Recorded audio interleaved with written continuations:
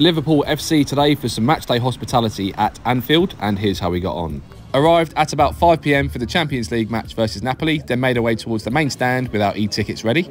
Short walk upstairs to the different lounges, then you have your ticket checked again, receive a hospitality wristband as well as a programme. Today we were in the Anfield Code, a large and open, relaxed lounge. Found a table and made sure we kept hold of this till later on. The paid bar is open throughout the evening, so we grabbed a soft drink, then it was up to the food station to grab a snack. A few options available to buy, including burgers and hot dogs, and we ended up going for the Cajun chicken burger. The burger was pretty good, which we enjoyed back at the table, and at the same time there is live music and a Q&A with the Liverpool legend. Redeem this voucher for a soft drink at half time, other drinks are available. There are complimentary hot drinks as well, especially good for the colder evenings. So we grabbed one and 10 minutes before kick-off we made our way outside and into the main stand and to our allocated padded seat. Tickets include a hotel stay and are from £299 through sportsbreaks.com.